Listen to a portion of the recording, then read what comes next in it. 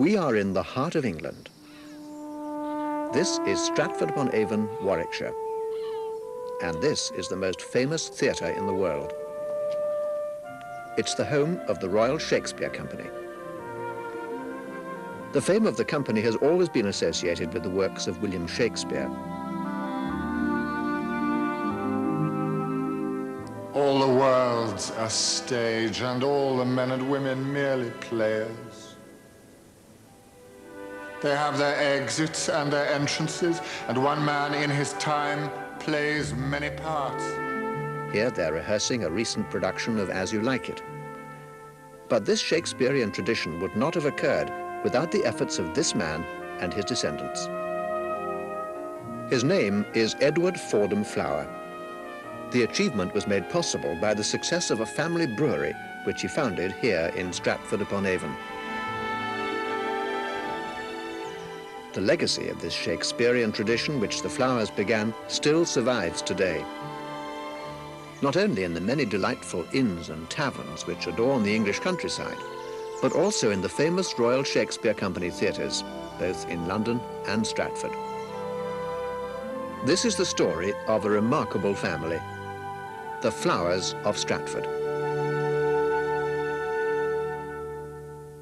Edward Fordham's family had been successful brewers in Hertfordshire, and probably remembering those early days, he set up a new brewery in Stratford, which opened in 1831. Dennis Flower is a direct descendant of the founder and has been both managing director and chairman of the brewery. Water is very, very important for producing beer. So when this started, uh, my great-grandfather dug down and he needed to um, use diamonds at one stage to cut through the rock and eventually they went down to 750 feet an artesian well, which means that the water sprung up over the top of the brewery, 40 feet, and they had great difficulty putting a cork in it. And the water was superb for bitter beer. Edward Fordham was four times mayor of Stratford and was asked to take a leading role in the 300th anniversary celebrations of Shakespeare's birth. As part of his scheme, a magnificent temporary pavilion was constructed. This festival would firmly establish the Shakespearean tradition at Stratford. It was at this time that Flowers adopted Shakespeare's image as their trademark.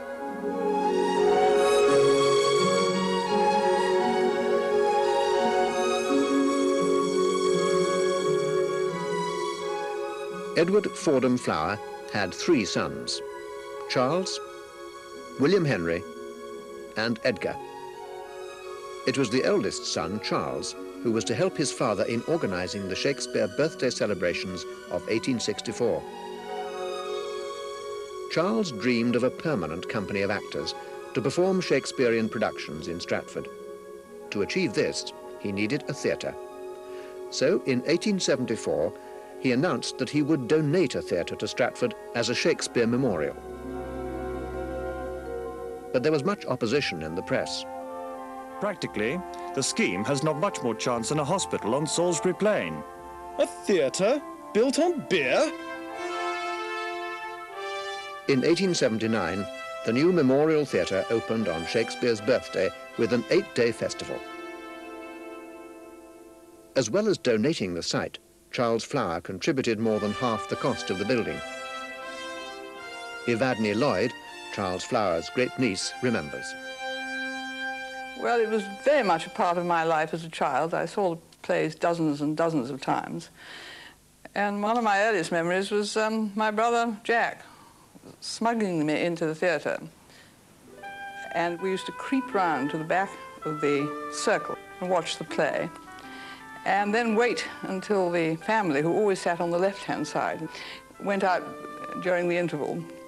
And then we used to wait hidden and play noughts and crosses on the pillars. In those days, there was a strong link between the everyday lives of the theatre and the brewery. The scenery was kept at the brewery. Uh, not only that, but uh, when they needed a crowd uh, in the theatre, the um, chaps were told to down tools, go down to the theatre, and act as a crowd in Julius Caesar or whatever the play was, and shout rhubarb, rhubarb, and then back to the brewery. And a further thing was that the box office at the theatre was in fact run by the accounts department at the brewery. In addition to the developments at the theatre, Charles Flower revitalized the brewery.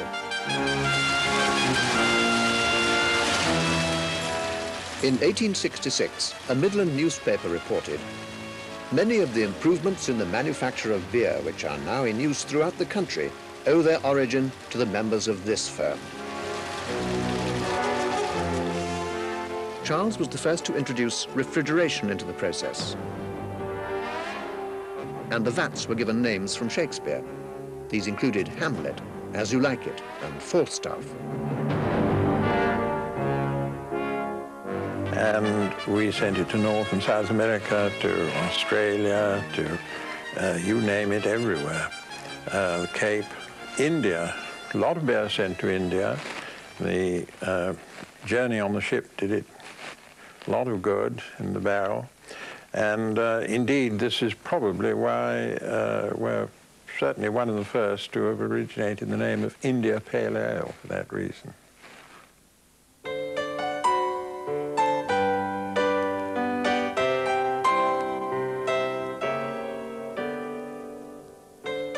Charles Flower not only built a new brewery and sent Flower's beers the world over, but he brought a new life and energy to the Shakespearean tradition at Stratford. Was far ahead of his time in realizing that a permanent theatre and company would lead to productions of a higher standard. When he died in 1892, the mantle came to rest upon the youngest brother, Edgar. For the next 11 years, Edgar took up the responsibility for the brewery and the theatre, but in 1903, the mantle was passed yet again. This time, it came to rest upon his son, Archibald. As well as becoming mayor of Stratford, Archie was to dominate the life of the brewery and the theatre for 40 years.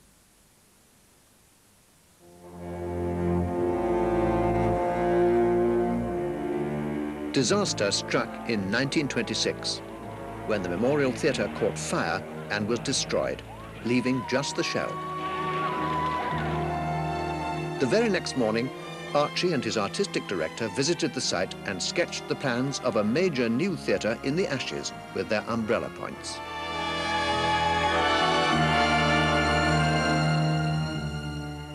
Archie launched a massive campaign in both England and America to raise the quarter of a million pounds needed for the rebuilding. This photograph album was presented to Archie at the time and records the reconstruction work in progress. Whilst finishing touches were made to the fabric of the building, actors were busy rehearsing the opening productions, Henry IV, parts one and two. In 1932, Archie's new Shakespeare Memorial Theatre was opened in the presence of the Prince of Wales. Over 100,000 people came to Stratford to watch the opening ceremony, which was broadcast by the BBC and by the first ever live relay to America.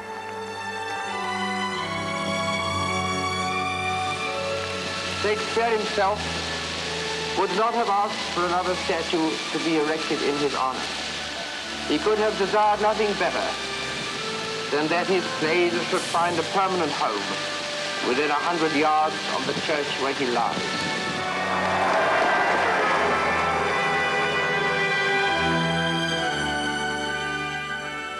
Archie's finest achievement was the resurrection of his Uncle Charles's dream for a permanent theatre in Stratford, complete with its own company of actors. Throughout his life, he was entirely dedicated to the family cause. And he created a sound financial base for both of his great interests. He was knighted for his services to theatre.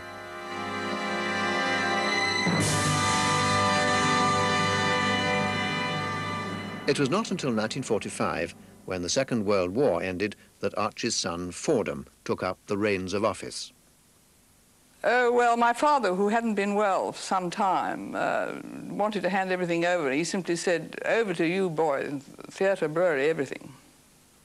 Fordy began the first of his historic partnerships when he appointed Anthony Quayle as artistic director. This became a cornerstone of the post-war revival at Stratford. Lady Flower. They had the same enthusiasm. They were both the kind of men who make things happen. And they shared the same dreams and aspirations for the theatre.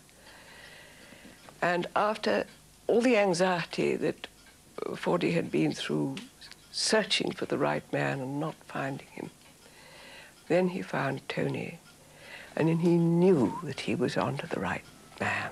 As part of his plan, Quayle introduced top names into the company.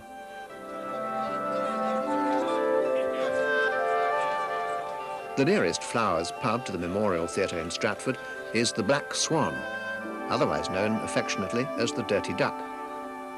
It's a regular haunt for both actors and theatregoers. Harry Andrews was painted here by the artist Leonard Boden.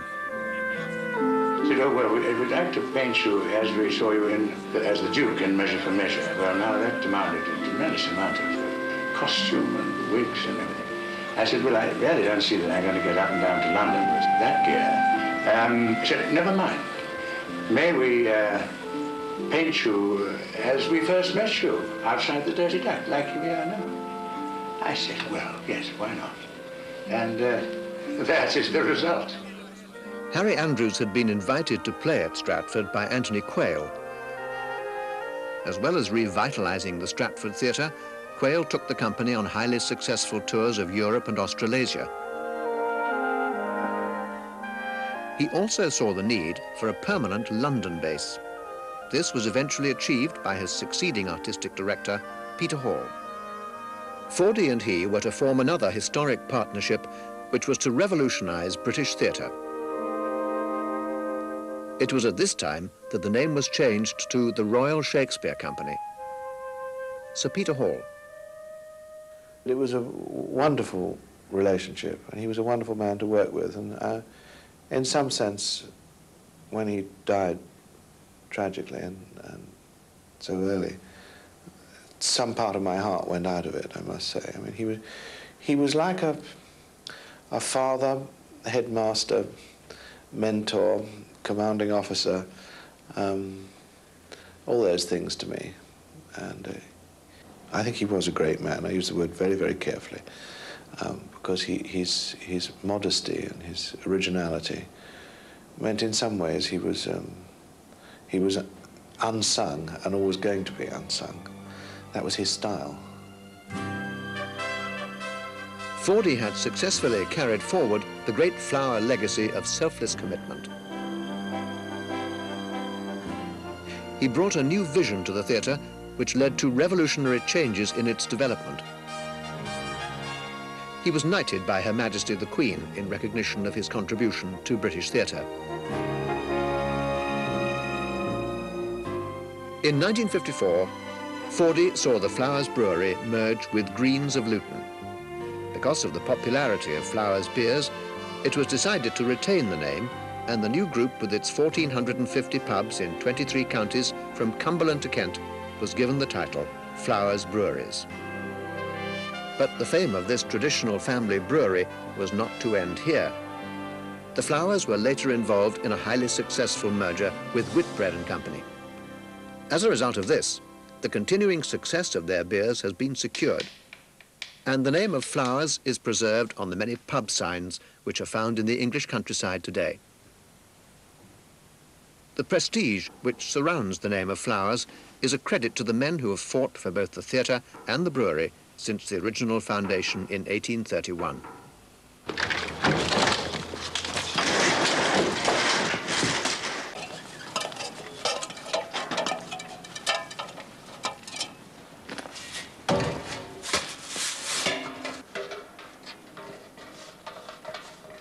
Charles Flower is the great-great-grandson of Edward Fordham Flower, and he's the present-day chairman of Whitbread Flowers Limited. Evening. Hello. Evening. Pint of flowers, Beth, please. It is highly appropriate that William Shakespeare was adopted as the Flowers Brewery trademark, considering the efforts they have made in promoting his name as the world's greatest playwright. You. The Flower family motto is et flores et fructus, both flowers and fruit. Over the years, they have been exceedingly fruitful. I'm very proud to be part of a tradition that was started back in 1831 by Edward Fordham Flower, my great-great-grandfather. And you know, it's a tradition that has linked fine beers with the plays of William Shakespeare for many years now. And I'm looking forward to a long association between the Flower family, the Royal Shakespeare Company, and the fine quality beers of Flowers Brewery.